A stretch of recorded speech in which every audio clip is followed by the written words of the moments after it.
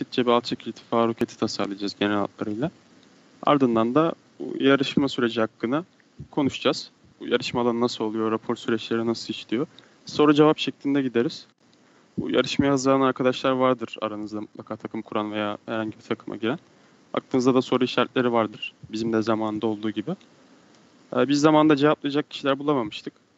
Burada en azından hani birkaç senelik tecrübe ettik, bazı sıkıntılar yaşadık. Onları siz de aynı sıkıntıları siz de yaşamayın diye aktaralım istiyoruz biz. Bu Open Rocket eğitiminden sonra da biraz ta- basit bir tasarımdan sonra onun üzerine bir sohbet şeklinde götürürüz.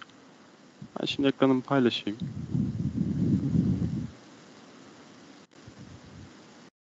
Şöyle gözüküyor mu? Ekranım. Evet gözüküyor. Gözüküyor. Tamamdır. Şimdi aranızda hiç OpenOCAD kullanan var mı daha önce? Ya da ne olduğunu? Oğuz falan var biliyorum. Ya da okul dışından olan veya daha önce e, kulübümüzden olmayan arkadaşlardan var mı kullanan? Ne olduğunu bilen veya nasıl işlediğini bilen. Vardır birkaç tane. Konuşmuyorlardır. Şimdi ne olduğunu bahsedelim bunun. Bu Java tabanlı bir yazılım. Arka planda matematiksel, fiziksel formülleri çevirip sizin el hesaplamalarıyla tek tek uğraşmanıza gerek kalmadan e, böyle grafiksel bir arayüz var burada. Sizin burada her yaptığınız işlem arka planda bir matematiksel formülün içindeki parametreyi değiştiriyor. Size sonuç olarak da burada e, geri dönüş yapıyor. Nasıl e, neyi değiştireceğine dayalı. Şimdi burada yeni parça ekleme var. Bak şurada gördüğünüz gibi. Burada e, roket elemanları var. Mesela burun konisi, body tüp, gövde gibi.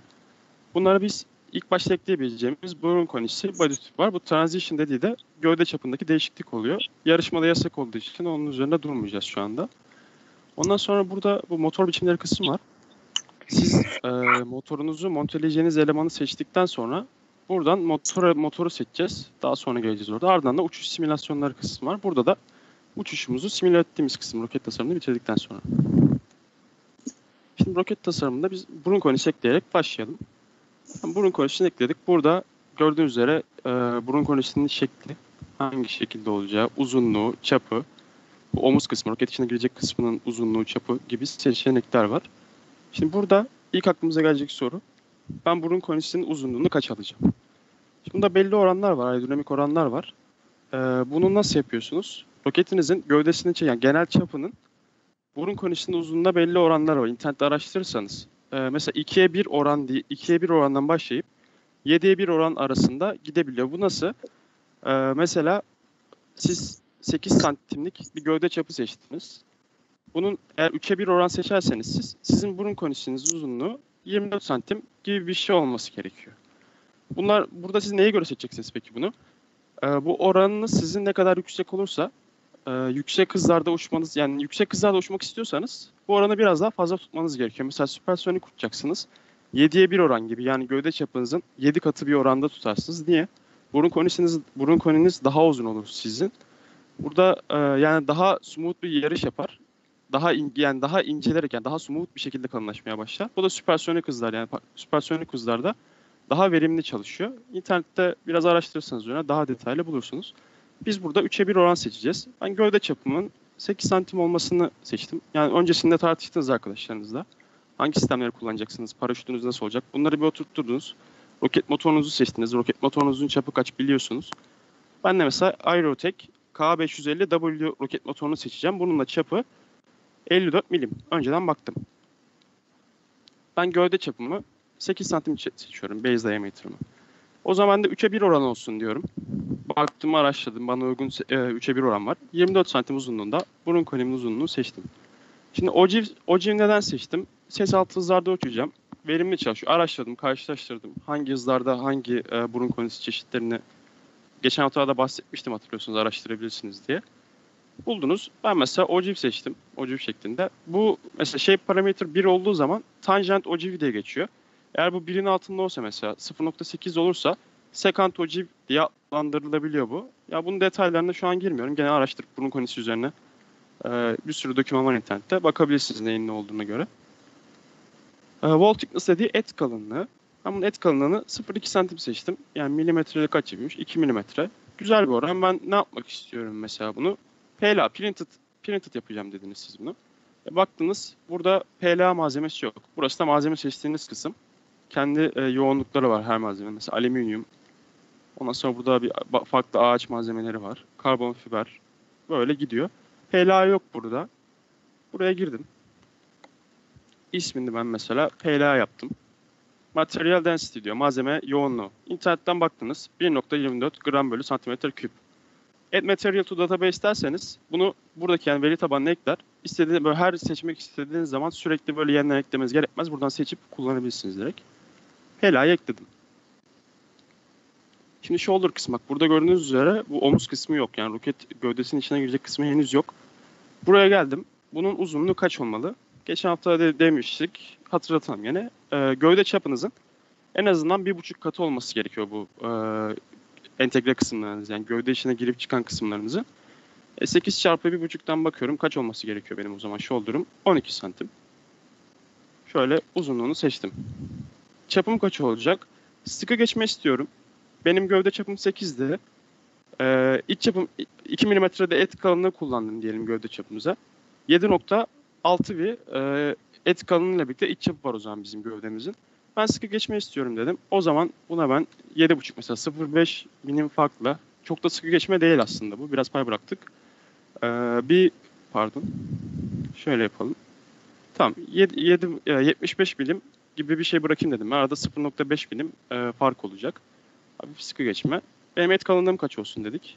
E, bu da 0.2 santim yani 2 milim olsun dedim ben. Tabii bu size kalmış nasıl yapacaksınız. Ben şu an rastgele yapıyorum. Çok detaya girmeyeceğiz. E, bunun konumuzu genel hatlarıyla oturttuk şu anda. Şimdi burada e, bu nasıl diyeyim e, object oriented bir sistem var burada.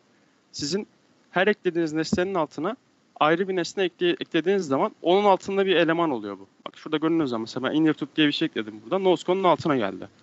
Benim ekleyeceğim burun konisi Noscon'un altında olmayacak. Ayrı bir parça, e, ayrı bir eleman olacak. Ben onun için Noscon'a değil de şuradaki devam ete tıklayıp ekledim mesela. Body tüpüm benim üst gövdem tahmin olarak kaç olsun? Dedim ki mesela şu anda ben detaylı hesaplamadım. Elemanlarımın da tüm e, boyutları falan belli değil. Dedim ki şimdilik bir 45 santim olsun. Ben mesela roketimin roket motorumun uzunluğunu biliyorum. Bakmışım mesela. Ona göre böyle aşağı yukarı bir şey tasarladım kafamda. Şimdi 45 santim olsun. Diğer sistemleri yerleştireyim. Ona göre ihtiyacıma göre arttırıp ya da azaltırım diye düşünebilirsiniz burada. Tasarım başlangıçlarında böyle ilerletebilirsiniz. Yani oturup detaylı mühendislik hesabı, el kitabı yani el hesabıyla uğraşmaktan ziyade burada ben bir böyle deneme yanılmayla değiştireyim, oynayayım. Ona göre neler oluyor? Basitçe görebilirsiniz. Mesela üst gövde üretiminde ben neyden yapayım? Karbon fiberden yapayım. Hem dayanıklı hem hafif. Bütçem de var ve üretim yöntemini biliyorum. Karbon fiberden yaptım. 2 milim de fazlasıyla yeterli olacaktır. Ee, karbon fiber bir malzeme için. Benim dış çapım kaç olacak? 8, e, 8 santimdi zaten. İç çapım 2 mm et kalınlığım olduğum için 7.6 santim yani 76 mm oluyor. Burada component finish dediği de component finish dediği de sizin yüzey e, yüzey yüzey faktörünüz. Yani eğer siz bunu pürüzlü bir e, şekilde bitirdiyseniz yani pürüz yani boya, boyasız veya e, cilalı değilse yüzeyiniz buradaki sürtünme katsayınız da biraz fazla olacaktır. Ama eğer siz e, cilalı bir bitiriş yaptınız yani aerodinamik olarak daha verimli çalışan bir e, tasarım nasıl diyeyim bitirme yaptınız malzeme üretimi yaptınız polish seçebilirsiniz. Mesela e, vernik verniklediniz cilaladınız polish seçebilirsiniz veya smooth point. Polish seçtim ben. Çünkü bizim yaptığımızda cilalı bir malzemeydi. Çok güzel yüzey pürüz, pürüzsüzlüğü vardı. Polish seçtim Şimdi burada motor diye bir seçenek var mesela BodyTube'de. Motor ne demek? Bu komponentin benim motorun geleceği kısım mı diyor. Onu belirtiyorsunuz. Hayır değil benim bu üst gövdem. Buraya motor gelmeyecek. Onun için ben motor seçmedim burada. Bununla da işim bitti mesela. Bir de şey yapabiliyorsunuz. Ayırt etmeniz kolay olsun diye. Mesela bunun konusuna geldim. Appearance var görünüş kısmı. Burada bakın use default color diyor. Bunu tik, antik yaptım. Buradan renk seçebilirsiniz. Mesela ne olsun? Jix olsun biraz. Pembe seçtim ben. Burun koyayım mesela. Pembe renkli. Yani burada tamamen ayırt etmem kolay olsun diye çalışırken bu şekilde seçebilirsiniz. Şimdi benim bir de alt gövdeye ihtiyacım var. Yine bağımsız bir şekilde buradan bir gövde daha ekledim. Bunun uzunluğu kaç olsun? İşte e, motor gelecek. Biraz daha uzun olabilir dedim. Mesela rastgele 50 santim. Yaptım şu an. Bunu değiştirebilirim ben yine. Sıkıntı yok. Tasarım sürecinin işleyişine göre. Bunun da malzemesi karbon fiber olsun. Bunun zaten dış çapı 8 aynı. Farklılık olmayacak dedik. İç çapımız bunun da 2 mm et kalınlığı var. 7.6 santim iç çapımız oldu o zaman. Bunu da ben polish bitirdim. Peki bu gövdem motor motorun geleceği gövde mi? Aslında evet. Ama ben direkt motora montelemeyeceğim. Bir motor yatağı yapacağım. Motor yatağının içine ben e, monteleyeceğim motorumu. Onun için bu gövdeyi ben şu anda motor gelecek kısım diye seçmiyorum. Motor mount diye seçmiyorum. Buraya bir de inner tüp. Bakın şu inner tüp dedi. İçte ya sizin eğer bir silindirik parça ekleyecekseniz işte motor yatağı gibi mesela bu inner tüpü seçebilirsiniz. Seçtim. Benim ben önceden bakmıştım tabii motor yatağının özelliklerine.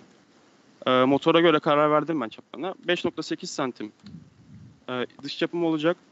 İç çapım 5.4 olacak. Duvar kalınlığım 2 milim. 41 nok- 41,5 santim de benim uzunluğum olacak. Çünkü motorumun uzunluğu 41 santim. Atıyorum arada 0,5 santim fark olsun gibi dedim. Tabii siz bunu daha motorun teknik çizimine internetten bakarak e, hangi marka size gelecek onun sitesine girip motorunuza bakıp teknik çiziminden bakarak daha düzgün bir şekilde yapmanız gerekiyor. Şu an biz biraz daha şey gidiyoruz, yüzeysel gidiyoruz. Çok zaman kaybetmeyelim diye. Bunu karbon fiberden ürettik, seçtik. Tamam, motor kısmına geldim. Evet benim bu, bu, bu komponentim motor mount. Yani buraya motor monteleyeceğim. Tamam. Burada işimiz bitti şu anda. Ee, şu an isterseniz motor seçelim. Burada bakın motor biçimlerine geldiğimiz zaman new configuration. Yani yeni bir yeni bir şey oluşturduk. Buradan motor seçiyorum. Burada bir sürü bakın her markanın yani çoğu var. Bir sürü motoru var burada. Şu arama kısmına gelip sizin seçtiğiniz motor. Mesela ben ne seçtim? K 550 W demiştim. Aerotok marka. Burada tıkladım. Mesela Show Details dediğim zaman da burada özelliklerini görebiliyoruz. Burada uzunluğu var. 410 milim. Çapı 500, e, 50 54 milimetre. Tamam seçtik. Motorumuz şu an monteli içinde. Bir itkimiz oluştu. Ya Bize ne lazım başka? İlk başta mesela e, merkezleme halkası lazım. Merkezleme halkası da ne demiştik geçen hafta? Bizim bu e, motoru merkezlememize yani gövde içinde merkezlememize yarayan hem de sabitlememize yarayan bağlantı parçaları, bir iç çapı olan dışarıdan da roket gövdesine sabitlenen bir bağlantı elemanı veya alt sistem diyebiliriz. Ben bunu burada ne için kullanacağım? Bu motor yatağını dış gövdeye sabitlemek ve merkezlemek için kullanacağım. O zaman şu alt gövdeye tıklıyorum ben. Roket tasarımına geliyorum gene. Burada bakın centering link yazıyor. Buna tıkladım. Benim bu motor, e, merkezi markamın dış çapı kaç olsun? E, şurada mesela 7.6 santimdi bu dış gövdemiz, ya alt gövdemizin iç çapı hatırlıyorsanız. Buna ben civatalayacağım için burada çok bir fark olmasın arada. E, pardon. 7.58 santim olsun mesela benim dış çapım. Arada çok e, o yani onda ikilik, onda birlik bir milimetre e, farkı olsun arada. Zaten cıvatalayacağım için çok boşluğa ihtiyacım yok orada. İç çapım kaç olsun? Ben bunu 5.81 yapacağım. Çünkü bunun 5.80 demiştik. Arada gene ben bunu sıkı geçeceği için zaten yapıştıracağım veya farklı bir şekilde sabitleyeceğim bu merkezleme makasını motor yatağına. 5.81 dedim. Bu thickness dediğimizde bu sefer bunun şu şekilde gösterirsem daha iyi olacak. Şu şekilde kalınlığı. Yani burada sizin üreteceğinizin parçasının kalınlığı. Ben bunu alüminyumdan üretmek istiyorum. Biraz mukaveme olsun. Çok da ağır olmayacaktır zaten alüminyumdan. 0.7 santim gibi bir şey yeterli olacaktır. Yani 1 santim dersem fazla gelebilir. Biraz ben baktım, düşündüm, tasarıma baktım. Ya da kullanacağım civatayı seçtim. Analizini yaptım mesela. Benim ihtiyacım ne? En optimum çapta mesela ne, et kalınlığı ne olabilir? Ben şu an mesela 0.7 santim dedim yani 7 milimetre. Ama siz ihtiyacınıza göre bunu değiştirirsiniz tabii. Şimdi bunu seçtik. Şu plus kısmından da bakın e, konumlandırmasını ayarlayabiliyorsunuz gövde içinde. Peki bunu neye, nereye göre referans alıyor? Sizin burada bak position relative to diyor. Bottom of the parent component. Yani bu bu komponentin elemanın alt kısmına göre referans alsın diyor. Yani ben bunu e, alt gövdenin altında açmıştım yani altında bir eleman olarak. Bunun alt kısmına göre referans alsın derse buradan sıfır alır. Ben bunu top dersem mesela şuradaki üst üst kısmına göre buradan e, referans alır. Ben bunu bottom diyeyim. Atıyorum şöyle yerleştireyim diyeyim. Mesela biraz burada olsun dedim. Yine CTRL-C, CTRL-V burada da işler. Kopyaladım. Ortada bir yerde olsun. Tabii bunların analizlerini veya hesaplamalarını siz ayrıca yaparsınız. Ben burada niye arada boşluk bırakıyorum işte. Yani hem e, daha dengeli olsun hem de daha mukaveme olsun diye belli aralıklarla yerleştirdim ben bunu. Bir tane de e, en alt kısmı yerleştireyim. Bu şekilde mesela merkezledim ben. Şu an motorum motor yatağım merkezlenmiş bir şekilde. Motor yatağımda motor e, motorun motor yatağımın e, motorun blok kısmı var. Geçen hafta göstermiştim. O arka kısmında fazladan bir çap var. Sizin motorunuzun e, öne doğru gitmesini engelliyor. Yani alt, fa- e, daha daha nasıl diyeyim? Daha büyük çapta bir parçası var motorun en altında. Engine block deniyor ona. Motorunuzu tutan kısım. O kısım da sizin mesela burada motor yatağınızın duvarlarına vuruyor. Dışı buraya doğru bir kayma olmuyor şu anda. Buradan tutturdunuz. Veya mesela şey eklediniz. Bulkhead dediğimiz yine geçen hafta konu- konuştuğumuz bir alt sistem. Yani dümdüz e, dairesel bir parça. İsterseniz içinde delik yapın, isterseniz yapmayın. Yalıtım amaçlı kullanın veya başka parça sabitleme amaçlı kullanın. Size kalmış. Mesela ben alüminyum bir bulkhead yaptım. Buna dedim ki mesela bir santim et kalınlığında olsun. Buraya roketi sabitledim. Buradan da mesela civatayla ben bu motorun üzerindeki e, civata yuvasına sabitledim buradan. Yani hem alttan hem de alttan hem üstten hem alttan ben motorum tutuyor şu anda yukarı kısımda. Şimdi kanatçıya geçelim. Kanatçık ekleyeceğiz.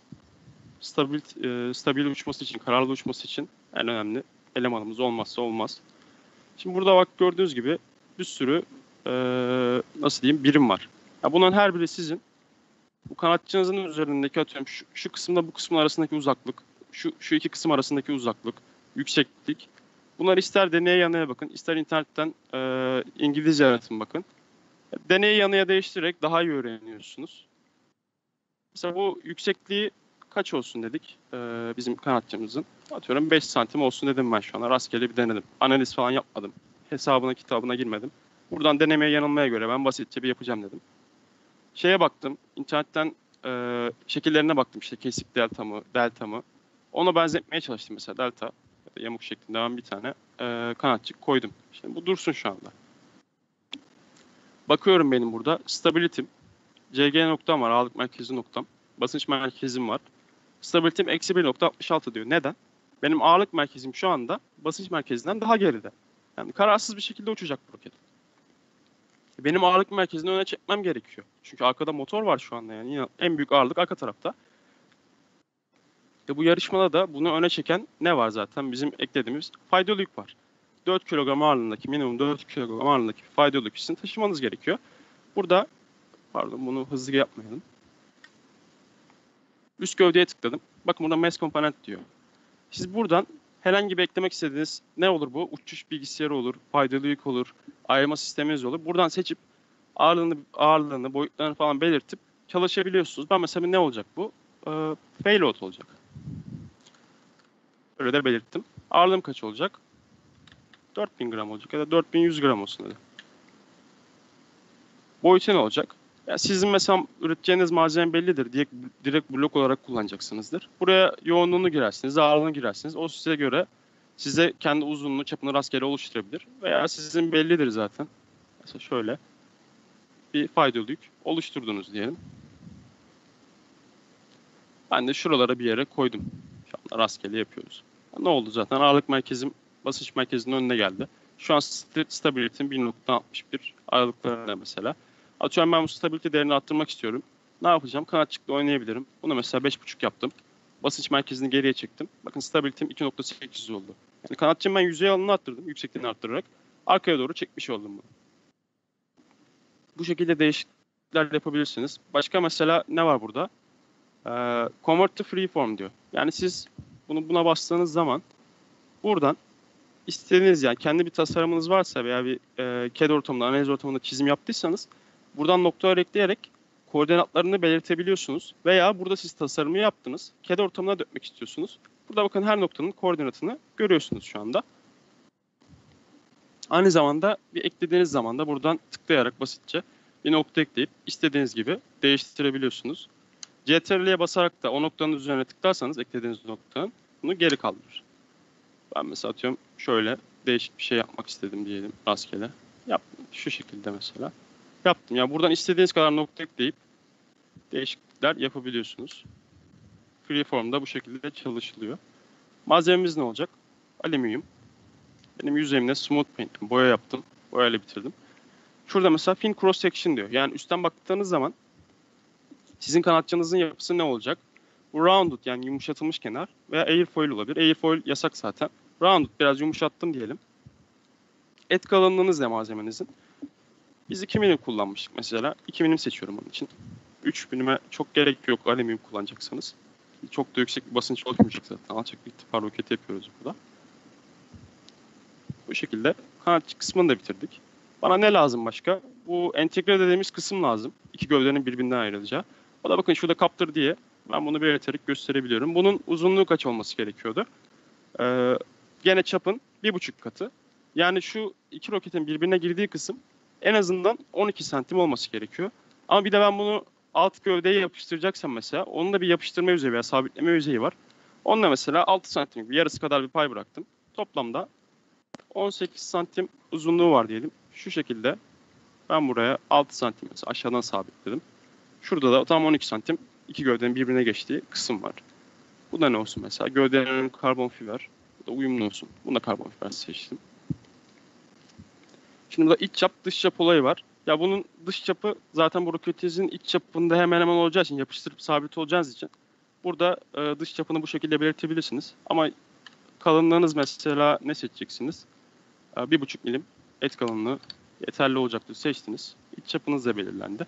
Eğer siz burada bakın entegrenizin iç çapı 7.3 santim diyor. Eğer bir alt sistem ekleyecekseniz yani bu entegrenizin iç kısmına gelecekse ona göre yapmanız gerekiyor. Ya dalıp da ya da gör, görmezlikten gelip bu roketinizin iç çapı gibi düşünmeyin.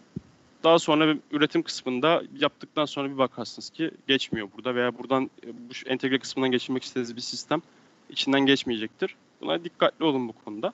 Ve aynı zamanda sizin herhangi bir cıvatalama işlemiyle bu entegre özenlemiş sabitleme yapmamanız lazım bir parçayı. Çünkü bu iki gövde birbirinden ayrılacağı için siz gidip de buraya mesela ayrılma sistemi, ayırma sisteminizi sabitlerseniz çok saçma olacaktır. Çünkü siz burada iki gövdeyi birbirine sabitlemiş olacaksınız. Hiçbir şey yaramayacaktır. O tarz şeylerde dikkat edin ki zaten edersiniz.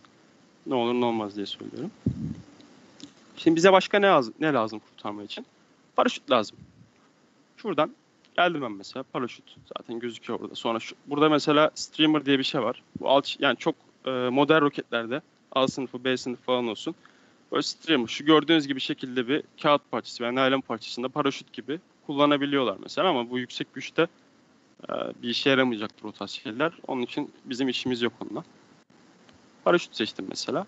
Ben e, şimdi bana burada ne lazım? Benim roketim belli bir irtifaya çıkacak. Faydalı dışarı atacak. Sonra kendi haliyle düşecek değil mi? Ama Open Rocket'te şöyle bir sıkıntı var. Siz bu faydalı dışarı atıyormuş gibi gösteremiyorsunuz direkt. Ha, nasıl ayarlayabiliyorsunuz? Ayrı bir kademe olarak ayarlayabiliyorsunuz ama onunla uğraşmak yerine siz burada en azından göstermelik olarak yani e, uçuş simülasyonunda görmelik olarak bu faydalı yük ağırlığınızı da katar, katmış gibi yani roketinizin ağırlığı gibi bir e, paraşüt yapı belirlersiniz. Gerçekte faydalı yükünüzün çıktığı ve roket motorunun yandığı ağırlıkla siz e, paraşüt çapınızı hesaplarsınız. Onu da el işlemiyle zaten geçen hafta nasıl olduğu üzerinde durmuştuk gene. Ama benim şu anda e, fayda yükümü gövde dışına atmıyormuş da fayda yükle birlikte iniyormuş gibi göstereceğim. Çünkü ayırma işlemini burada OpenRocket'te gösteremiyorsunuz. O çok gelişmiş bir e, yazılım değil. Ne dedim mesela rastgele ne olsun? 80 santim benim paraşüt çapım olsun. Number of lines dediği de paraşütte kullanacağınız ip sayısı. Şimdi siz eğer bu ip sayısını çok az tutarsanız aradaki iki kumaş arasındaki iki ip arasındaki boşluk çok fazla olursa böyle bir yalpalanma, kumaşta bir bozulma olabilir. Yani olabildiğince ne az ne çok hem ağırlıktan e, kazanın hem de sıkıntı yaşamayın. Çok az tutmayın atıyorum 4 gibi 6 gibi e, rakamlarda tutmayın. Mesela 8 ideal bu 80 santim çapında bir paraşüt için ama çok büyük atıyorum 3 metre ya da 4 metre paraşüt yapacağım diyorsanız bu ip sayısını arttırmanızda fayda var. E, line range'imiz de kaç olsun? Demiştik ki çapımızın 1.15 katı e, işimizi görüyor demiştik. O ne oluyor? Hemen hesap makinemden bakayım ben mesela. 92 santim. Yani 90 santim. Benim bu ip paraşüt iplerimin uzunluğu olsun. Burada malzemesini seçebiliyorsunuz. Yani sizin burada seçtiğiniz malzeme e, ve uzunluğuna göre bu ağırlık hesabı yapacaktır. Ağırlık olarak katacaktır. Çok aerodinamik olarak katmayacaktır bu. E, gerçekte hesaplarken bunların her birini gerçekçi kullanmanızda fayda var. Ki sizin uçuşunuzdaki e, uçuş nasıl diyeyim grafiğiniz burada hesapladığınız, simüle ettiğinizde gerçeğine benzesin. Her şeyi gerçekçi kullanmanızda fayda var. Ama şu anda biz hayali öyle. Yüzeysel bir tasarladığımız için ip kullanımına girmiyorum. Mesela şunu şu elastik kordu seçtim rastgele. Çok önemli değil şu anda. Sağ tarafta da bakın paketlenmiş uzunluğu, paketlenmiş çapı var. Şimdi diyeceksiniz ki ben hayatımda paraşüt yapmadım. İlk defa roket yapacağım. Ben katlayacağım paraşütün çapının paketlenmiş halinin ne kadar olacağını nereden bileceğim? En büyük sıkıntılardan biri bu aslında. Çünkü paraşüt sizin en son yapacağınız şeylerden biri oluyor. Siz atıyorum bu paketlenecek kısmı çok düşük kalmış olabilirsiniz veya çok fazla bırakmış olabilirsiniz. Paraşüt mesela düşük bıraktınız, az yer bıraktınız paraşüt e, paketlenmiş yerinizi, paraşütü koyacağınız kısma. Gelir kumaşınız, paraşütünüzü yaptırırsınız. Paraşüt ipleri girer işin, işin içine, şok kordonu girer, aradaki bağlantı elemanları girer. Bir bakmışsınız paraşütünüz sığmıyor roketin içine, alana sığmıyor, sistem kapanmıyor, eyvah. Yani bunu e, en başında nasıl denersiniz? Kullanacağınız paraşüt kumaşını alırsınız mesela. Sipariş edersiniz önden belli bir miktarında, e, paraşüt çapında. Alırsınız. İçinde kullanacağınız ipleri koyarsınız mesela üst üste. Sonra bir katlarsınız paraşüt kumaşınızı, paraşüt katlar gibi. İnternette gene e, paraşüt katlama ilgili İngilizce aratırsanız hem Türkiye'de hem de yurt dışındaki gelişme yazılarında öğrencilerin nasıl katladığına farklı farklı yöntemler bulabilirsiniz. Ki o da çok önemli bir husus. Onun üzerinde durmanızı durmanızda fayda var. İşte ipleri yerleştirdiniz, paraşüt kumaşını katladınız. Yani tahmini olarak ne kadar sığdırabileceğinizi de o şekilde görebiliyorsunuz. Ama gene e, de küçük, çok küçük bırakmamanızda fayda var. E, biraz boşluklu bırakmanızda yani biraz nasıl diyelim e, referansla toleranslı bırakmanızda fayda var ki ondan sonra aslında üretimden sonra sıkıntı yaşamayın. Çünkü kısıtlı alanlarda çalışıyoruz. Her sistemde birbirini etkiliyor. Yani geri düzeltemeyeceğiniz şeylere kaçabilirsiniz ileride. E, sorunlar yaşayabilirsiniz diyelim. Şimdi ben mesela şu an rastgele hiç bilmiyorum şu anda ne olduğunu. Rastgele şu şekilde seçeceğim. Şuraya da yerleştirdim mesela. Çünkü burada burada bakacağımız şey bizim. Şu an bu e, paraşüt uçuş grafiğini nasıl etkileyecek? Yani nasıl göreceğiz? Onun için ben. Paket uzunluğuna şu an aldanmayın. Ben rastgele bir şey seçtim. Burada bakın deploy Z diyor. Yani ne zaman açılacak bu paraşüt? First ejection charge of this stage. Benim burada seçeceğim bu mesela ilk şeyim, e, ilk paraşütüm apoji'de maksimum irtifada açılacak. Bunu seçtiğim zaman bu paraşütün maksimum irtifada açılacaktır. Burada ne var mesela bizim için önemli olan? Specific altitude during descent yani alçalma alçalma sırasında sizin belirleyeceğiniz özel bir irtifada, spesifik bir irtifada açılsın diyor. Bunu ikinci paraşütümüz için yapacağız. Hatırlıyorsanız demiştik ki ilk, e, para- iki paraşütümüz var bizim roketimiz için kullanacağımız. Birincisi maksimum irtifada açılıyor görev irtifasında. İkincisi de e, azalırken 600 ile 400 metre arasında bir irtifada açılmak zorunda. Ben ilk paraşütümü onun için Apogee'de seçtim. Şuradan uçuş simülasyonlarına gelelim hemen. New Simulation diyelim. Bakın burada e, simülasyon parametreleri var. Bu konumsal mesela e, latitude, longitude e, yani enlem boylam şeyleri. Bunu yarışma komitesi veriyor. Nerede veriyor? Ben buraya geldiğiniz zaman, şartnameye girdiğiniz zaman en son sayfasında hangi verileri kullanmanız gerektiğine dair bir OpenRocket'te en son sayfada böyle bir e, resim var. Bunları girdiniz simülasyon ekranınızda. Şunu da sıfır yapalım. Şuradaki mesela 600 santim sizin rampanız uzunluğu. Yani roket rampanızın e, ateşlenecek rampanın, çıkış yapacak rampanın uzunluğu 6 metre uzunluğunda. Burada da işte farklı atıyorum havadaki ortalama rüzgar hızı gibi falan veriler var. Detaylı inceleyeceğiz bunu. Burada da mesela pardon Simulate and Pilot dedim. Burada da e, şeyler var. Sizin neyi grafiği, neyin grafiğini görmek istiyorsunuz? Mesela vertical motion vs time. Yani dikey hareketimin zamana zamana bağlı ben e, grafiğini görmek istiyorum. Ayrıca şunlara da birazdan bakacağız. İlk ben bir hareketimin, dikey hareketimin zamana bağlı grafiğini görüm diyorum burada. Pilot dedim. Şimdi şöyle bir grafiğim var benim önümde. Bakın. Şu kırmızım neymiş?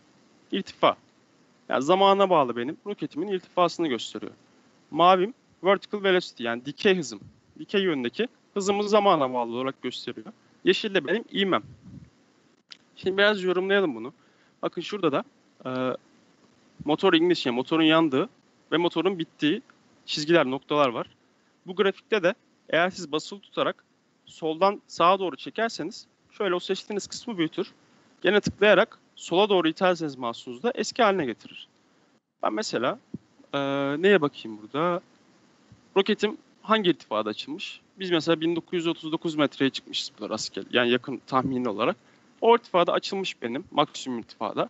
Paraşütünü açmış. Ondan sonra da bakın sabit hızla inişe devam etmiş. Peki hangi hızda inmiş? Şu irtifadan itibaren gördüğünüz şu mavi. Mesela şuna ben böyle yakınlaştırayım rastgele bakayım.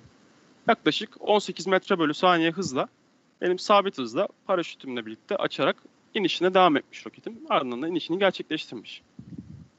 Şimdi burada e, şu ivme kısmını nasıl yorumlarız? Bakın e, ateşlemem nerede benim? Şuradan şöyle bakayım. Motor ignition ateşleme kısmı burada. Belli bir ivmeye ulaştı. Bakın çok hızlı bir ivmelenme var. İvmelendi. Sonra yavaşladı ivmelenme. Motorun yanışına göre değişiyor tabii bu. Ondan sonra e, motorum bitti benim. İvmelenmem sıfıra ulaştı. Burası tam aslında şeye eşit olduğu nokta. E, yer çekiminde sürüklenme kuvvetinin, yer çekim ve sürüklenme kuvvetinin motorunuzun etkisine eşit olduğu nokta sıfır noktası. Yani kuvvetlerin dengesinin olduğu nokta. Ardından motorum yandı bitti. E, şurada artık benim, benim roketimi etkileyen iki kuvvet var. Bir sürüklenme kuvveti. Yani üzerinde sizin akışınız var. Roketinizi geriye doğru bir e, direk oluşturuyor, sürüklenme oluşturuyor. Bir o kuvvet etkiliyor. Bir de yer çekimi kuvveti, yer çekimi ivmesi var benim etkileyen. Şurada da baktığınız zaman roketinizin hızı yavaşladıkça bu ivmelemenin etkileyen kuvvetin azaldığını görüyorsunuz. Yani eksi yönde. Çünkü sizin hızınız azaldıkça hatırlıyorsanız sürüklenme kuvvetinin formülünde hızın karesi vardı. Hızınız azaldıkça sürüklenme kuvvetinin etkisi de karesiyle doğru olarak azalıyor. En sonunda artık bakın 9.8 civarlarına yani yer çekimi ivmesinin olduğu kısma kadar geliyor ivmelenmesi düşüyor. Sonrasında zaten sabit ivmeyle yani ivmesiz bir şekilde daha doğrusu sabit hızla inişinizi yapıyorsunuz. Şuradan ben geldiğimde mesela hızımı görüyorum. Yani hangi hızlarda indiğimi. Burada da irtifamı görüyorum. Şimdi ikinci paraşütümüzü ekleyelim. Geldim buraya. Üst gövdeye mesela. Gene paraşüt dedim. Benim ikinci paraşütüm neyi sağlayacak? Roketimin daha yavaş hızlarda inmesini, benim istediğim hız aralığında, maksimum hız aralığında inmesini sağlayacak. Ki ben ilk paraşütüm küçüktü. Sürüklenme fazla olmasın diye büyük, büyük paraşüt açmadım ilk aşamada. Sonra ben belli hızlarla, belli aralığa kadar, belli irtifaya kadar düştüm. Sonra ben büyük paraşütümü açtım ki roketim kırıma uğramadan inişini gerçekleştirsin. Bunun mesela çapı kaç olsun? Ee, 130 santim olsun diyelim. Tabii ben bunları şu anda aklımdan hızlıca hesaplayarak yapmıyorum. Daha öncesinde ben pratiğini yaptım. Bir de artık 3 senedir zaten tasarlıyoruz. Aşağı yukarı ne olacağını tahmin olarak biliyorum. Siz bunu isterseniz burada gelin deney yanılı yapın veya daha sağlıklı olacak şekilde sizin kütle hesabınızı yapın. Toplamda ne kadar ağırlığınız var iniş yaparken. Sonra geçen hafta gösterdiğimiz şekilde paraşüt hesabınızı yapın. Daha sağlıklı olacaktır. Benim de mesela gene 8 tane paraşütüm olsun dedim. 130 santim çapın ee, 1.15'e çarpıyorum. Paraşüt uzunluğum, ipi uzunluğum kaç olsun mesela? 150 santim bir şey çıktı. Peki ne zaman açsın paraşütü? Bakın şu anda first ejection of charge of this stage diyor. Ee, 474 metre gösteriyor. Eğer e, her şeyiniz doğru görüyorsanız, bir sıkıntı yoksa ama şurada irtifanızın düşük görüyorsanız bunun sebebi çok büyük ihtimalle buradaki paraşütünüzün açılma evresidir. Bunu yanlış girmişsinizdir mesela. Ateşlemeden sonra paraşütü açmış gibi algılıyordur bu simülasyon. Yani paraşütünüz açık bir şekilde yukarı doğru yükseliyorsunuz diye düşünüyordur. Onun için de irtifanız burada düşük gösterir. Yani öyle bir sıkıntı yaşarsanız ilk bakacağınız şey paraşütünüzün ne zaman açıldığı olsun. Ben diyorum ki spesifik altitude yani açılırken e, benim belirlediğim spesifik bir irtifada yani 550 metre civarında açılsın diyorum benim paraşütüm. Şimdi bakalım pardon bir de şu paraşütümüzün e, konumunu mesela şöyle yapalım. Şuralarda bir yerde olsun atıyorum. Şu an tamamen rastgele sallamasyon. Şöyle geçmesin tabi. Şöyle yerleştirdim mesela. Tamam önemli olan bizim simülasyon şu anda. New simulation dedim. Şunu sıfıra aldım yine. Burada bir bug var. Sürekli bunu 180'e çeviriyor. Ee, simüle etmeden önce gelip şurada sıfır yapmayı unutmayın bunda. Simulate and Pilot dedim yine. Bakın grafik değişti. Önceden burası dümdüz sabit bir hızla iniyordu. Şimdi bakın ikinci kademe geldi. Bu sefer bakın eğim eğim arttı burada. Yani daha yavaş bir şekilde iniyor. Şimdi belli irtifada ben paraşütümü açtım. 550 metre civarına geldim. İkinci paraşütümü açtım. Peki hangi hızda iniyor ondan sonra? Bakın şurada bir hızda bir değişiklik olmuş gene. Böyle gelip bakarsam ben burada. Mesela 9 metre bölü saniye hızla iniş yaptığını görüyorum ben. Atıyorum benim maksimum 9 olması gerekiyor yarışma şartnamesine göre. Gelirim burada ben paraşütüm çapını 140 Uzunluğum aynı kalsın çok önemli değil. Ne kadar değiştirir ki bu zaten. Şu an bakalım mesela. Çok değiştirecek mi? kaç olmuş? Atıyorum 8,5 olmuş. Tamam mesela siz bunu azaltmak isterseniz paraşüt çapınızı arttırırsınız. Ve hesaplamanızı yaparsınız. Ama biz şu anda e, faydalı yükümüz varmış gibi simüle ediyoruz burada. Çünkü faydalı yükü roket dışına atıyormuş gibi gösteremiyordum ben bu yazılımda. Bu göstermelik bu e, simülasyonda öyle yapıyoruz. Ama siz gerçekte hesaplarken gene e, faydalı yüksüz ve motor yakıtınızı bitmiş bir şekilde hesaplamanızı yapacaksınız. Yani kuru ağırlığıyla e, hesaplamanızı yapacaksanız onu yaparsınız zaten. Şimdi burada baktığınız zaman şu yeşil iğmelenme demiştik. Burada garip bir hareket yapmış. Şimdi bir soru soralım. Sizce bu hareketin sebebi, burada gösterdiği hareketin sebebi ne olabilir? Fikri olan var mı? Yani sabit hızla iniyordum ben ama ani böyle bir pik yapmış burada. Sebebi nedir sizce? Var mı fikri? Düşünün biraz.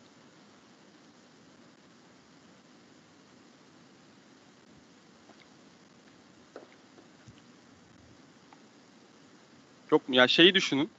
Paraşütle atladığınızı anda düşün. Yukarı doğru, Efendim? bir anda yukarı doğru kuvvet uygulanıyor. O yüzden Evet ama işte bu neden oluyor? Şey, neyden oluyor peki? Biraz daha açar mısın? hmm, Yani şeyi düşün. Uçaktan paraşütle atladığını düşün. Açmamışsın. Sonra bir anda açtığın zaman ne olur paraşütü? Hava akımından dolayı. ani bir hız azalımı olur. Ani bir hızla, evet ani bir böyle gerilirsin değil mi? Bir anda böyle yukarı izlemişsinizdir videolarda. Bir anda bir şok kuvveti oluşur. Oradaki işte ani ivmelenmenin, böyle paraşütte olduğundaki ani ivmelenmenin sebebi bu grafiğe bu şekilde yansıyor. Yani burada bakın bir şok kuvveti oluşuyor burada. Ani bir ivmelenme oluyor yukarı yönde. Yani en azından bu şekilde gösteriyor burada. Ee, ani bir yavaşlama olduğu için e, grafiğe bu şekilde yansıyor bu şok kuvveti. Böyle bu şekilde görebiliyoruz onu da. Ya sağlıklı bir grafiğiniz, roketinizi tasarladığınız zaman sağlıklı bir grafiğiniz bunun gibi yani bunun benzeri bir şey olması gerekiyor. İki kademeli. İlk paraşütümüzü açtık. Belli bir hızda indik. Sonra daha düşük hızlarda indik. Benim burada hızlarım var. Yani bu grafik hakkında sorusu olan var mı? Bir şey anlamayan. Açabiliriz biraz daha. Var mıdır? Durabiliriz üzerinde biraz daha. Tamam. Olursa sorarsınız yine. Şimdi ben burada mesela başka ne ekleyebilirim? Ee, mass komponentten ben burada mesela deployment chart. Yani ayırma sistemi ekleyeceğim. Ya bu tabii tamamen şey olacak. Ee, belli bir mesela üretimini yaptığınız veya tasarımınızı yaptığınız ayırma sisteminizin atıyorum 400 gram ağırlığa ulaştı. Benim burada hangi konumda, hangi ağırlıkta olacağını belirlemem için yani roketin ağırlık olarak nasıl etkileyecek onun için yerleştirmem gerekiyor. Roketin içinde olduğu için aerodinamiksel bir etkisi olmayacak tabii ki. Mesela e, 300 gram ya da 400 gram diyelim benim ayırma sistemim var. Konumu da diyelim şöyle entegrenin buralarda yerleştirdim. Sistemi tasarladım mesela. Atıyorum bu kadar uzunluğu var. 3 santim uzunluğu var. Konumlandırması da böyle mesela. Bu benim ağırlık merkezimi etkiledi. Ya benim simüle, simüle ederken ağırlık merkezimin nerede olacağını etkiledi. Başka bir etkisi yok şu anda. Yani burada ayırma sistemine veya nasıl ayrılacağına dair bir etkisi bulunmuyor. Ee, ağırlık merkezimde zaten gördüğünüz üzere biraz bu tarafa doğru yaklaştı çünkü buraya ağırlık ekledim. Stability değerim kaç? 1.79 statik marjinim. Ağırlık merkezim 60 santim uzaklıkta. Ee, baş merkezimin de konumunu biliyorum ben. Tamam şu anda sıkıntı yok gözüküyor. Maksimum hızım kaç? 184 metre bölü saniye diyor. Yani 0.55 mahta uçuyoruz biz. Maksimum ivmelenmem var burada. Apogemi şurada görebiliyorsunuz. Mesela şuradan gelip görünüş şeklinde gelirseniz 3D bitmişe basarım ben. Şöyle yani eee, başka yerden siz birazdan göstereceğim neyse bu dış görünüşü değiştirebiliyorsunuz. 3D bitmemişe gelirsiniz mesela. Sizin atıyorum 3 boyutlu olarak rastgele nasıl gözüküyor tahmin olarak bu şekilde bir bakabilirsiniz. Ha, daha güzeli var bir tık güzeli. Şuradan Tools'a gelirsiniz. Photo Studio diye bir şey var mesela. Sizin roketinizin atıyorum şuradan efekt ekli. Bu tamamen şu anda e, zevkini yaptığımız bir şey mesela. Şöyle buradan ateş seçip duman seçip mesela böyle bir göreyim. Ben diye demek isterseniz nasıl olacak havada. Çünkü gerçekte zaten göremeyeceksiniz. Böyle rastgele bir şey bakıp hani Instagram'a atayım derseniz buradan biraz oynayarak boyarlarla güzel bir görüntü elde edebilirsiniz. Neyse çok önemli değil. Burada önemli olan komponent analizi dediği benim e, hızıma bağlı olarak şurada ya grafiğe bakmadan hızıma bağlı olarak stability değerimin nasıl değiştiği. Ve maksimum mesela 0.55 maha ulaşıyormuşum.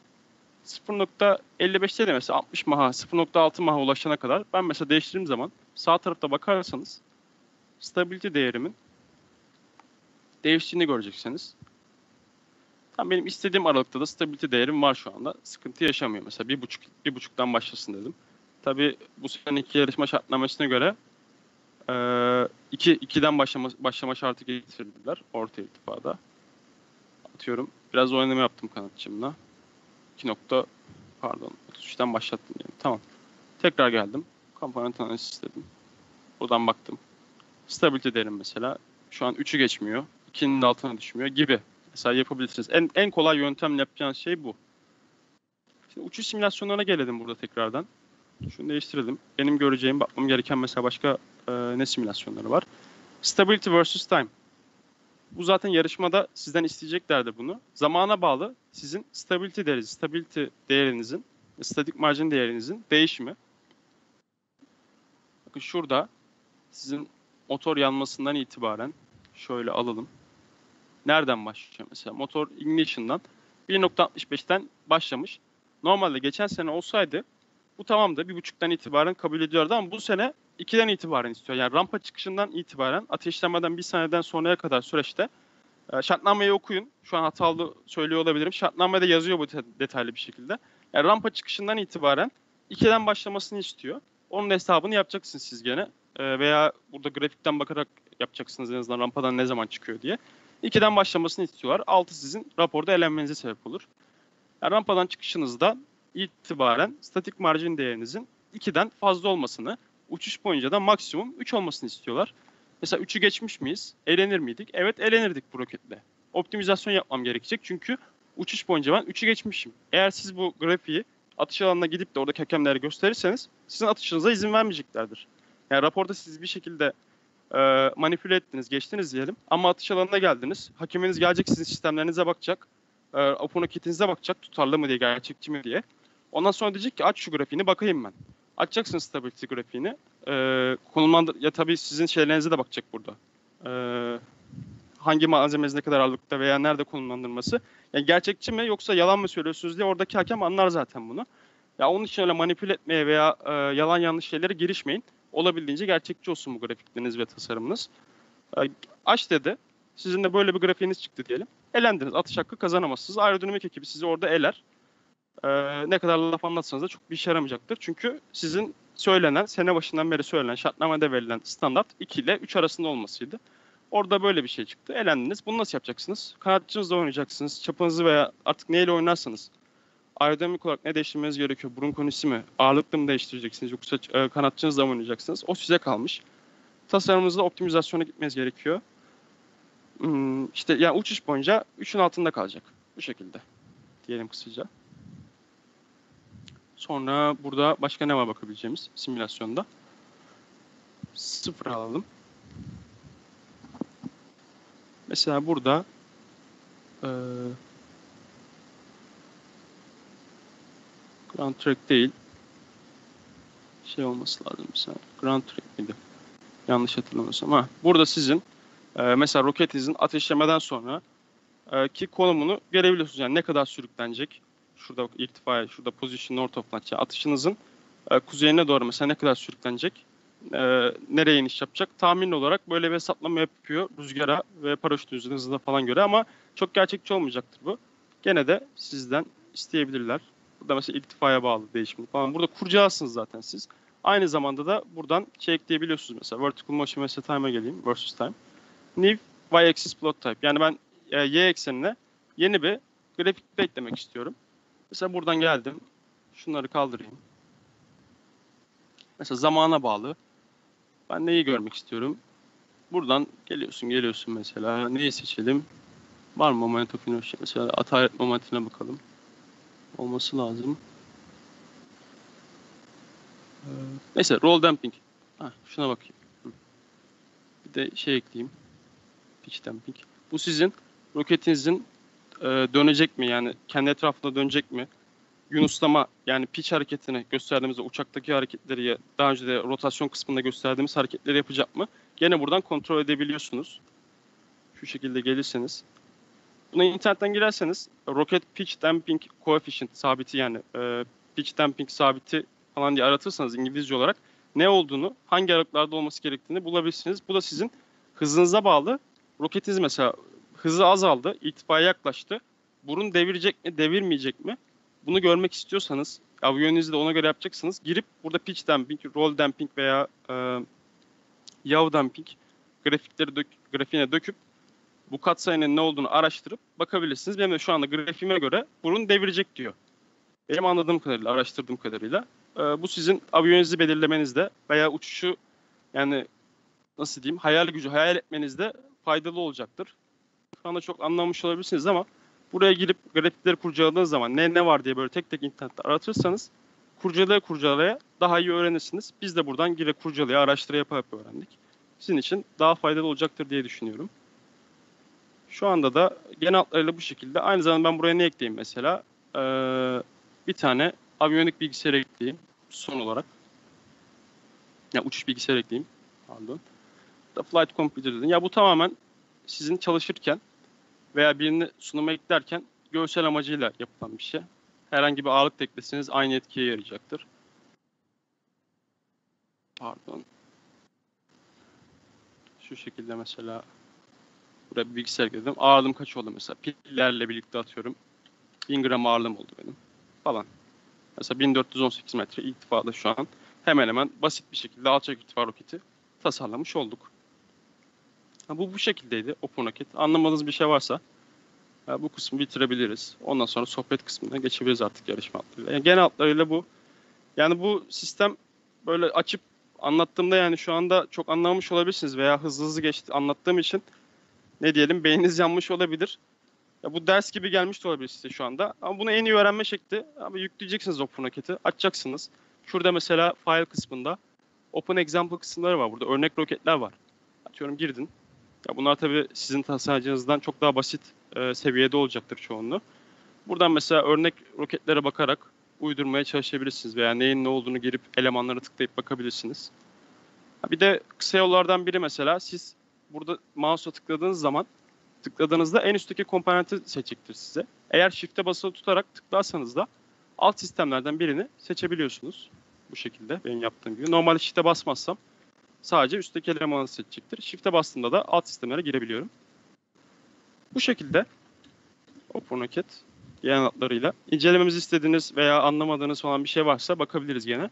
E, yoksa yarışma hakkında yarışma alanı ile ilgili sorularınız var mı? Vardır diye düşünüyorum. Onları mesela takımca, bizim diğer takımlı arkadaşlarla birlikte de cevaplandırabiliriz. Şöyle kapatalım. Bu da ucundan göstereyim. Bizim geçen seneki yarışmaya katıldığımızda tasarladığımız roketti mesela bu. Şöyle genel hatlarıyla göstereyim. Bu şekilde. Durdurayım ben paylaşımı da. Evet bu hafta böyle herhangi bir sunuma zaten söylemiştik. Sunum hazırlamadık. Çünkü yani OpenRocket üzerinden yaptığımız için eğitimi. Sunumdan böyle ekran görüntü yapsak saçma olurdu. Sorulara bakayım. Bu kısmı Süleyman e, bu kısmı tekrar anlatır mısın demiştin de 3.30'da. Pardon yani ben şeyleri görmedim, yazıları görmedim. Hangi kısımdı?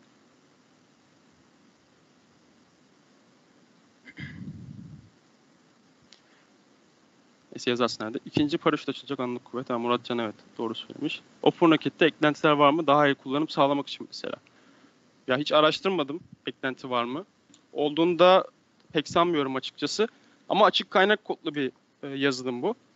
Girip siz kendi değişikliklerinizi, eklentilerinizi e, Java yazabiliyorsunuz, yapabiliyorsunuz. Açık kaynak kodlu. Roket içi basınç değişimiyle ilgili grafik alabiliyor muyuz? Alamıyoruz. Çünkü roket içi basınç grafik değişimi sizin roketteki deliklerinize hmm, ne diyelim aradaki boşluklarınıza bağlı olarak değişebilir. Onun hesabı artık analiz yöntemleriyle veya farklı şekillerde yapılması gerekiyor. Veya deneme yanılmayla olacaktır. İçeri basınç sensörü koyup. Tekrar değindiniz. Tamam, tamamdır o zaman. Şimdi ben e, kendi mesela tecrübesizliklerinden bahsedelim. E, bu sene, geçen sene gittiğimizde. Atış alanından bahsedelim biraz arkadaşlar. Atış alanına gittiğinizde eğer mesela patlayıcı bir e, pneumatik bir sistem kullandıysanız ayırma sisteminizde ilk gittiğiniz zaman sizin o barutlu sisteminizi, ayırma sisteminizi teslim etmeniz gerekiyor. Ve yanında getirdiğiniz herhangi bir barut varsa, fünye varsa ilk gittiğinizde onları teslim ediyorsunuz. Ardından e, start veriliyor. Saat e, atıyorum 9'da gittiniz, 9'da başladı diyelim. Çalışmaya başlıyorsunuz. Birkaç saat atıyorum çalıştınız. Ardından hakemler gelmeye başlıyor size. Ee, yapısalcı geliyor, aerodinamikçi geliyor, aviyonik hakemleri geliyor. Ee, ve faydalık e, faydalık üzerine değerlendiren var. O gelmiyor. Onu siz götürüp faydalık yüzü tarttırıp gösteriyorsunuz ağırlığa geçip geçmediğini. Her bir hakem gelip sizin sisteminizin e, kurallara uyup olmadığını kontrol ediyor. Eğer geçerseniz yeşil etiket veriliyor. Geçemezseniz veya belli kusurlar varsa beyaz etiket veriyorlar. Sonra tekrar gel diyorlar. Bir değişiklik yap. Ardından yeşil etiketi kap diyorlar.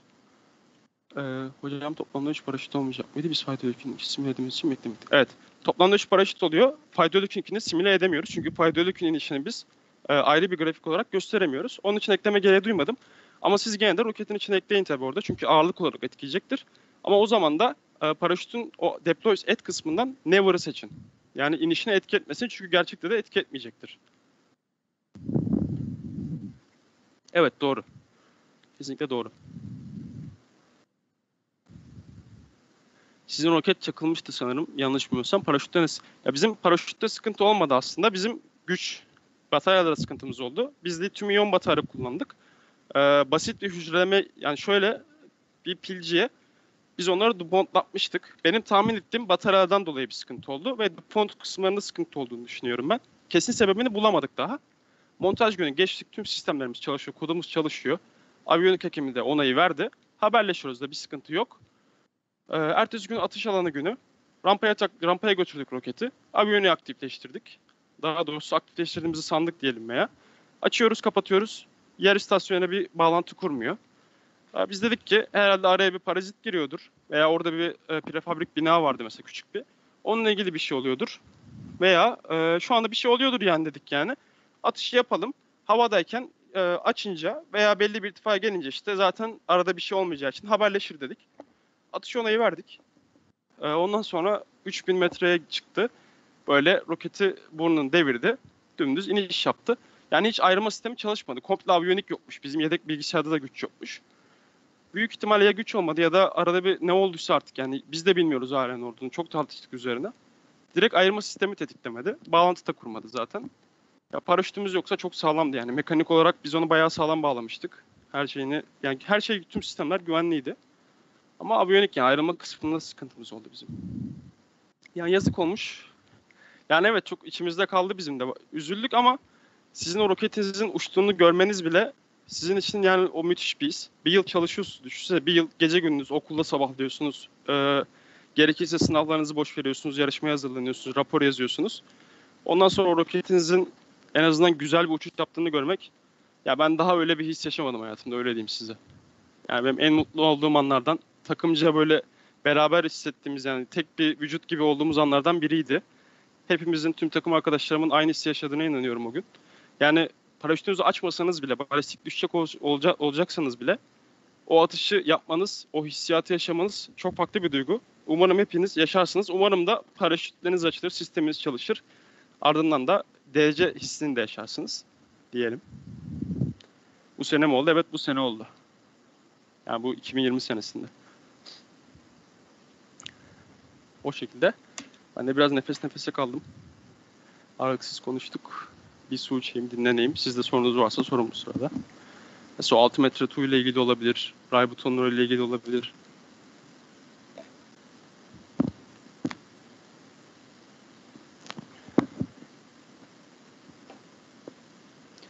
Ray butonuna gelince e, bu yarışma sürecinde ÖTR'den sonra açıklanır büyük ihtimalle. Size ray buton dediğimiz şey roketinizin rampaya takıldığı e, bir parça. Yani küçük silindirik bir parça. Roketinize iki adet yerleştiriliyor. Onu da nereye yerleştireceğinizi siz araştırın. Ben söylemiş olmayayım. İnternete girerseniz e, launch rack yazarsınız veya ray butonu Türkçe aratıp İngilizcesi neymiş diye bulursanız ki araştırma yeteneğinizi kullanmanız gerekiyor orada da biraz. E, küçük bir araştırmayla bulursunuz diye düşünüyorum. Nerelere kullan takılması gerekiyor, rokette montelenmesi gerekiyor bulursunuz. Ona göre deliklerinizi açarsınız rokette veya nasıl bağlantı yapacağınızı oluşturursunuz. Atış günü size e, montaj gününde daha doğrusu verilecektir o ray butonları. Roketinizle önceden belirlediğiniz kısma takacaksınız. Sonra rampaya bir koyacaksınız roketinizi. İki, iki ray butonunuz rokette paralel mi? Yani rampaya düzgün oturuyor mu? Onu görmeniz lazım. Ona da çok dikkat edin roketinizin imalatını yaparken. İki, ro- iki ray butonunuz arasında bir açı olmasın. tam paralel yani aynı eksen üzerinde olsunlar ki rampaya eşit girsinler. Yani aynı hizada girsinler. Biraz araştırırsanız onunla ilgili de detayları bulursunuz. Ondan sonra 6 metre tuğ cihazı var. Geçen hafta gene onun hatta ilk hafta bahsetmiştik sanırım ya da geçen hafta tam hatırlamıyorum. Geçen hafta olması lazım doğru. E, 6 metre tuğ cihazını atış hak kazanırsanız verecekler size. Bunu gidin yurtta kaldınız yani orada yurtta kalacaksınız at montaj günde. E, çıktınız yurda gittiniz akşam öğrenin diyecekler. Yarın da geleceksiniz roketinizde montajlayacaksınız. Aktifleştireceksiniz. Zaten rapor rapor sırasında da raporlama sırasında da bahsetmeniz gerekiyor ondan. Ya 6 metre cihazını roketinize nasıl monteleyeceksiniz? Nasıl aktifleştireceksiniz? Raporda bahsetmeniz önceden tasarlamanız gerekiyor. Atış gününde verecek, montaj gününde verecek size o cihaz. Öğrenin. Yarın gelin bunun nasıl çalıştığını diyecekler. Zaten o cihazı paketli bir şekilde verecekleri için içinde kullanım kılavuzu olacak. İnternetten de bakabileceksiniz. Öğrenirsiniz. Ben söylemeyeyim burada. Diyelim. Ee, başka ne var? Var mı sorunuz? Yani yarışma bu bulunmaz fırsat ya sizin için. Bize hiç söyleyen olmamıştı. Aklınıza geliyordur sorular ya yok mu? Bizde mesela bir sürü soru vardı cevaplayan yoktu. Orada tecrübelemek zorunda kaldık. Benim şu an aklıma gelmiyor çok.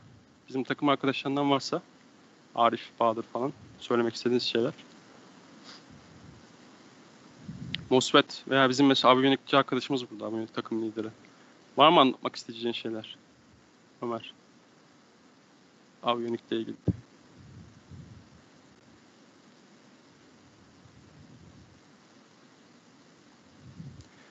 Stability grafiğinin ilk saniyesinde evet e, bizde atış alanında çok küçük bir fark vardı. Yani 0.01 gibi bir fark vardı. Onda bile sıkıntı çıkarttılar. Biz de şöyle dedik. e, o zaman ağırlık merkezini arkaya çekeriz. Yeniden bir ayarlarız dedik orada. E, motor kısmının 19 yani alt gövdeye iki tane e, 70 gram ağırlığında bir nesne ekledik, sabitledik. E, simülasyonda da yaptığımız zaman stability'nin e, düzeldiğini gördük. O şekilde gösterip kanıtlayınca onay verdiler.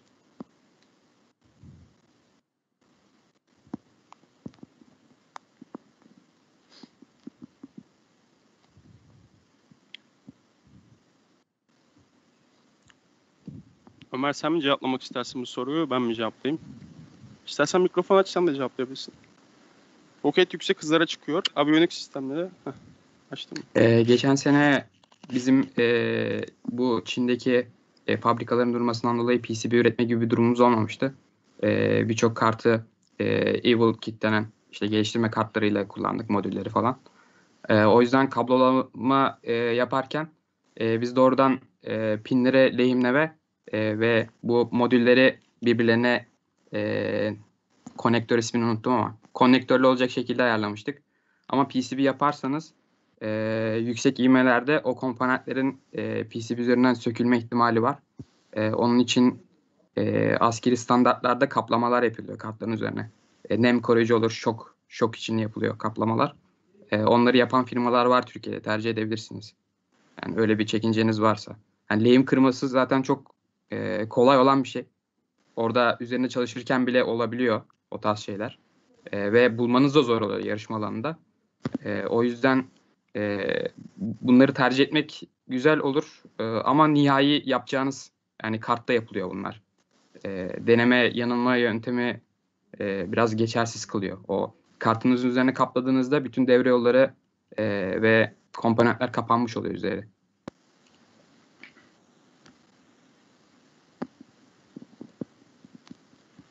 Değişen hava şartları sıcaklık gibi otonom sistemlerin ölçümlerini değiştirebiliyor mu demiş. Değiştirebiliyor mu? Nasıl? E, barometreyi değiştirebiliyor. E, zaten o barometreler genelde sıcaklıkta ölçtüğü için hesaplamanızda işte o sensör hesaplamasında, basınç hesaplamasında e, bir katsayı olarak yer alıyor hesaplama içerisinde.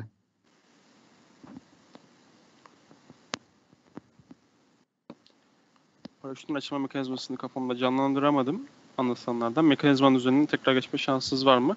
Şimdi ben zaten belirli bir mekanizma anlatmadım. O sizin kendi tasarımınız olacak. Geçen hafta mekanizmalara değinmiştik. Eğer geçen haftadan bahsediyorsan.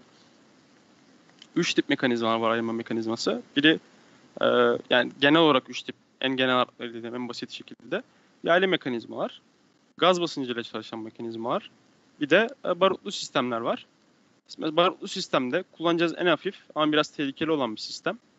E, modern roketlerde kullanılan en basit, en ilkel sistem. Barut ateşlediğiniz zaman içeride oluşan e, basıncı kullanarak ayırma yapıyorsunuz. Yine bunun nasıl olduğu ile ilgili zaten birkaç video izlerseniz internetten deployment charge dersiniz veya ro- roket paraşüt deployment yazarsanız onunla ilgili videolar görürsünüz. Yaylı mekanizmalarda da e, yayda biriken potansiyel enerjiyi serbest bırakarak mesela bu nasıl olur? Yayı sıkıştırıp monte ediniz belli bir sistem ara, iki sistem arasına. O sıkıştırmayı da siz mesela servo coil tutuyorsunuz veya başka bir sistemle tutuyorsunuz. Kendiniz tasarladığınız e, yük dağılımı yaparak. E, yani servo coil'u yaparsanız sadece tüm yük servo koluna binecektir. Bu da servo kolunuzun bozulmasına veya çalışmamasına sebep olabilir. Yükü farklı şekilde dağıtarak daha düşük kuvvetlerle kontrol edebilirsiniz mesela o yay potansiyelini. O size kalmış şu anda. Yani burada oturup şu anda baştan bir sistem tasarlayamayız tabii ki. Bunlar aylar, aylar süren süreçler. Ama ya bu araştırmaya giriyor biraz daha. Hani deployment systems yazarsanız, paraşüt deployment systems yazarsanız internete ilgili bir sürü makale veya e, kaynak diyelim çıkacaktır karşınıza. Paraşütün nasıl açın? Ya paraşütü siz e, roket gövdesi dışına çıkarttığınız zaman zaten e, o kendisi bir sürüklenme kuvveti oluştuğu için ip böyle dolana dolana kendisi açılıyor. Ama paraşütünüzün kolay açılması için de katlama yöntemleri var.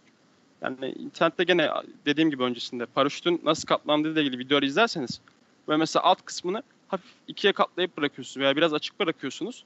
Hava akımı oluştuğu zaman orada direkt paraşütünüzün içine böyle doluyor. O da ipleri açıyor böyle. Kendisi hızlıca açılıyor. Yani hem katlama yöntemiyle ilgili hem de ipleri nasıl sardığınızla alakalı bir şey o. Ama paraşütü siz gövde dışına bir şekilde çıkartırsanız zaten o sürüklenme hava akımından dolayı yukarı doğru gitmek isteyecektir. O sırada da ipleri gererek açılacaktır kendisi. Çok sıkıntı olmaz orada. Yok biz geçen sene e, soğuk ayrılma kullanmadık Halil. Biz de barutla ayrılma yaptık geçen sene. Ben bas, gaz basınçlı ayrılmaları çok sevmiyorum açıkçası. E, gerek yok bence.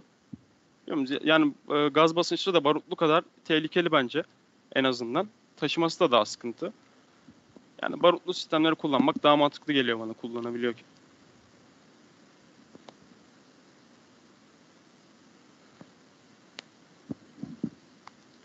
Üst kısımda rokette belli bir parçayı alıp kapama yöntemiyle aviyonik kısma ya da on-off tuşuna ulaşmak mantıklı olur mu? 6 metre tuğu bu şekilde koymak mesela. Yani 6 metre tuğ roket takımların %90'ının benim gördüğüm, bizim de yaptığımız nasıl yapılıyor? Rokette belli bir kapak kısım kesiyorsunuz. Oradan civatayla açıp kapatarak e, atış gününde masaya koyulduğunda roketiniz rampaya taşınmadan önce orada bir 10 dakikalık süre içinde montajlıyorsunuz. En basiti bu şekilde. Tabii atıyorum ıtı sistem yaparsınız veya farklı bir sistem düşünürsünüz. Önemli olan gövde dışında aktifleştirip e, orada civata kullanma yani vidalama şan, hakkınız var.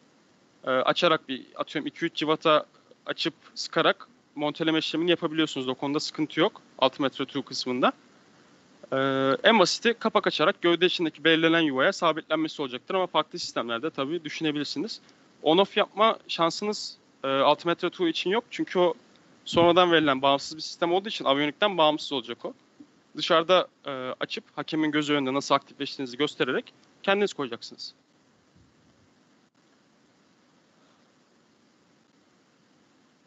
Ya üst kısımda parçalık kapanma yöntemiyle aviyonik kısma ya da on-off tuşuna ulaşmak mantıklı olur mu? Ya o kısım biraz da o soruyu biraz daha açar mısın Süleyman? Tam anlayamadım. Ya şey için diyorsan e, aviyonik sistemin aktifleştirmesi için diyorsan onu aktifleştirirken roketten herhangi bir parça çıkarmana veya e, demonte etmene izin verilmiyor. Roket dışından e, ya içine doğru ulaşan bir e, parçayla ya da dışından switch koyarak elinizle açıp kapanız gerekiyor. O şekilde diyeyim. Yazılımcı arkadaşımız varsa gömülü sistem yazılımı nasıl yapılıyor, hangi dili kullanıyor, hangi roket yazılımıyla ilgili kısa bir bilgi verebilir mi? Ya gömülü zaten Ömer de gömülü programlama yapmıştı geçen sene. O detaylı bir şekilde anlatabilir size istersen. Ya detaylı değil de yüzeysel diyeyim daha doğrusu. Ee, sorunuz varsa alabilir. STM üzerinden programlamıştı. Yanlış hatırlamıyorsam da CPP ile yazmıştı veya C miydi tam hatırlamıyorum. Ömer sen açabilirsin istersen soruyu. Ee, yani genel olarak nasıl başlayacağınızla ilgili yani birkaç tüyo arıyorsanız e, bu kartlarda mikro işlemciler ve e, işte sizin ihtiya- ihtiyacınız olan e, sensörlere göre e, yapıyorsunuz bütün tasarımınızı. E, bu mikro işlemciler genelde e, mikro işlemci üreticilerinin e, kendi sağladığı yazılımlar üzerinden programlanıyor. E, bu yazılımlar e, genelde C ve C++ dillerini derlemek için e, ayarlanmış halde. Yani başka dilleri derlemek için de e, bu şekilde derleyiciler var ama işte Python olur, e, aklıma ne gelir, Java mesela. E, bu diller de kullanılıyor ama e, genelde sektörde %80 civarında mikro işlemcilerde e, C dili kullanılıyor. E, sensörlerle ilgili e, yapacağınız programlamalarda sensör üreticilerinin işte sensör üzerindeki e, datanın nasıl alınıp verileceği ve bu e, sensör datasının e, gerçek değerlere nasıl dönüştürmesiyle ilgili hesaplamaları içeriyor.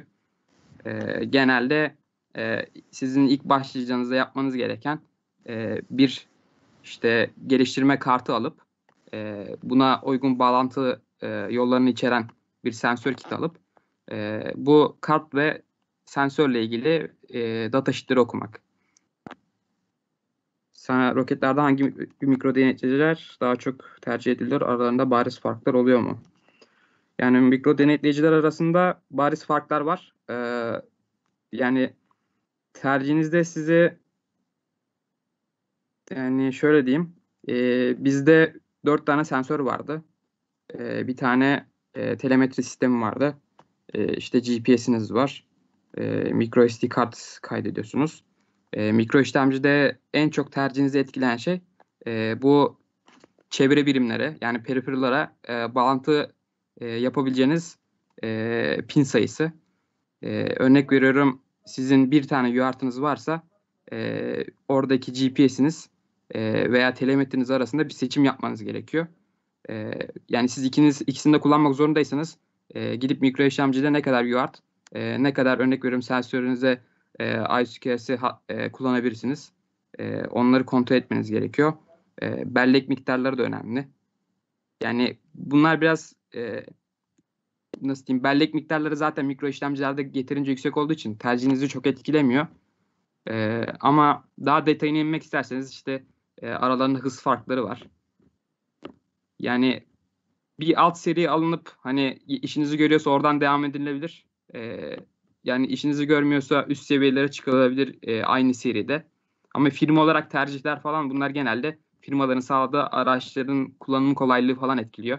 E, sektörde en çok STM'in yaygın olmasının sebebi de e, sağladığı idelerin ondan sonra e, yazılım paketlerinin e, sürekli güncel olması, kullanımın kolay olması, internette çok fazla bilgi bulunması. Yani STM mesela geliştirme kartı olarak hem ucuz ve e, nasıl diyeyim e, çok kolay bulunabilmesi sebebiyle Türkiye'de çok tercih ediliyor. E, bir Texas Instrument veya NXP'ye göre. E, o şekilde yani bunların arasında seçim yapabilirsiniz. Ama genelde geliştirme kartları çok yaygın olduğu için e, bu nükle ödenen kartlardan STM'in sağladığı e, biz de faydalanmıştık. Kendi aviyonemizde ve e, faydalı yükümüzde.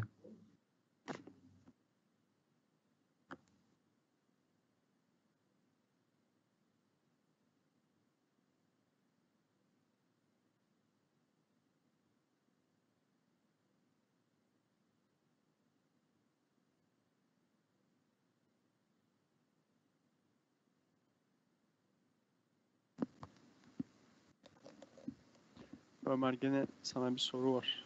Yazılım öğrenirken nasıl bir yol haritası izlemeliyiz? Roket kodlamak için diyor arkadaş Süleyman. Yani roket için e, spesifik bir yol yok. Yani e, bu gömülü sistemlerde e, roketin diğer sistemlerden ayrılan en önemli özelliği e, bu insansız hava araçlarında da aynı şekilde veya e, bir otomobil e, işlemcisini kodlarken de e, aynı şekilde e, bunların real time olması. Orada fark ettiyseniz roket çok kısa bir sürede e, sizin e, tahmin ettiğiniz yüksekliğe ulaşıyor e, ve sizin bu yüksekliğe e, tam yakalayıp o orada ayrılma sistemini ateşlemeniz için, e, tetiklemeniz için e, real time olması lazım. Herhangi bir donma, gecikme olmaması lazım. E, bu yüzden mikro e, denetleyiciler tercih ediliyor. Yani ilk yapacağınız şey mikro denetleyici nedir? Nasıl programlanır? Bunu öğrenmek. E, ve çok fazla taskınız olmuyor. O yüzden e, mikro denetleyicide e, bare metal denen e, metodu kullanmak kolay olduğu için e, sizin herhangi bir şekilde bir e, mikro işlemcide çalışan işletim sistemleri hakkında e, bilginizin olması gerekmiyor. Bu konuda hani e, daha şeysiniz, e, rahatsınız. E, direkt e, bir sensörü alıp o sensörün üzerinde e, ne gibi register'lar var? Mikro işlemcinizde ne gibi bağlantı yolları var sensörle kullanabileceğiniz? E, onların çalışma prensiplerini öğrenerek başlayabilirsiniz. E, bir sensörle örnek veriyorum I2C veya SPI e, haberleşmesi yapacaksanız e, bu haberleşme nasıl çalışır? E, bu sensörün üzerinizde e, ne gibi register'lar vardır? İşte okuma yapmaya başlamak için sensörünüze ne söylemeniz gerekir? O size e, örnek veriyorum e, basınç bilgisini yani barometre datasını versin. E, onlarla başlamanız gerekiyor. Yani izleyeceğiniz yol bu şekilde. Yani en temel e, şeyi bu işin mikro denetleyiciler. E, yani çok iyi bilmeniz gerekiyor. En, en, en azından e, çalışacağınız mikro denetleyiciye bayağı hakim olmanız gerekiyor.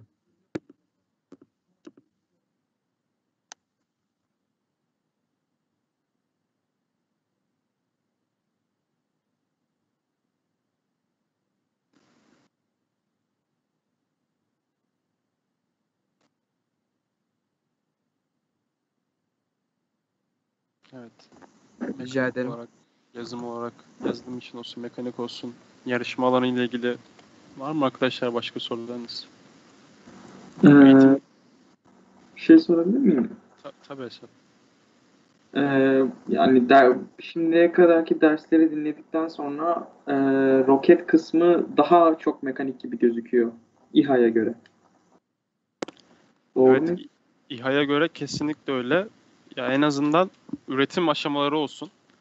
Ee, İki alanda çalıştık biz. Hem insan hava araçları üzerine hem de roket üzerine çalışmış biri olarak ve takım arkadaşlarım da o iki alanda çalış, çalışmış ve çalıştılar.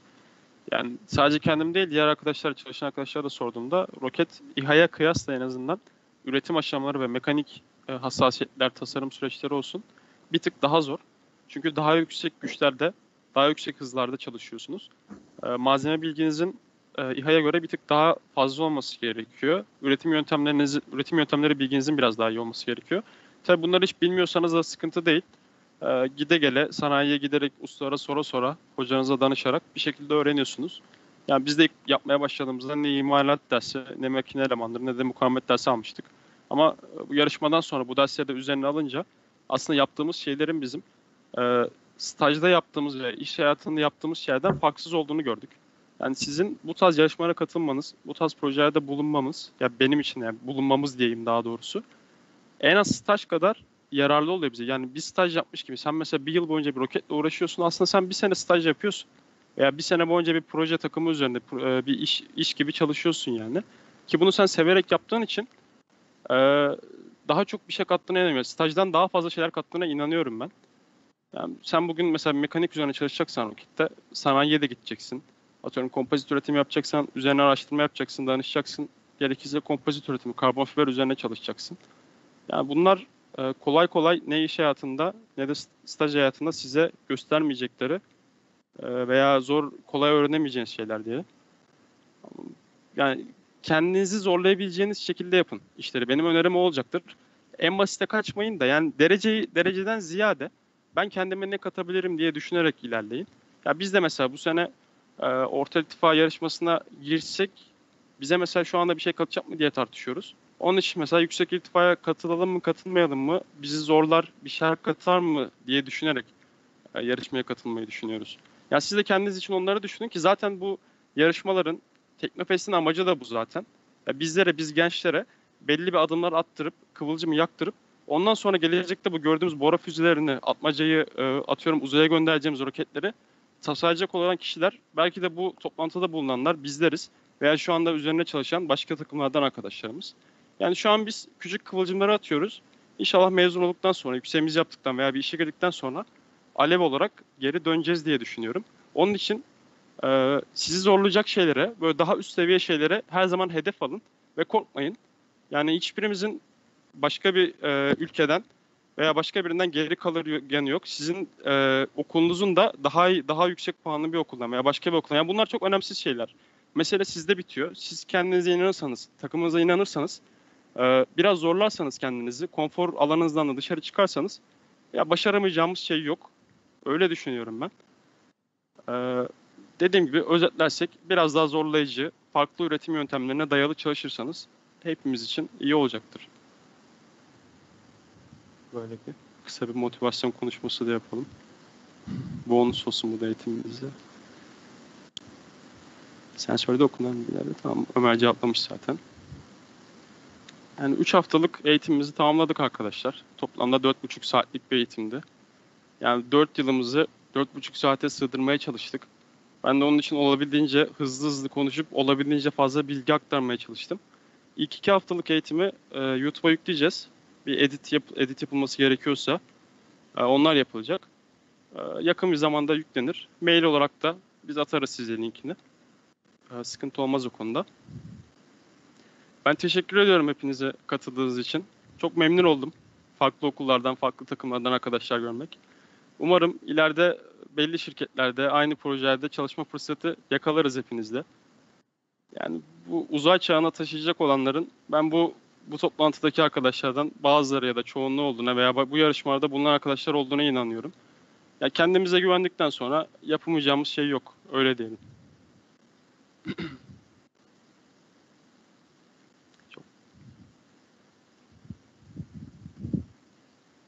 Başarılar diliyorum hepinize de. Umarım faydamız olmuştur.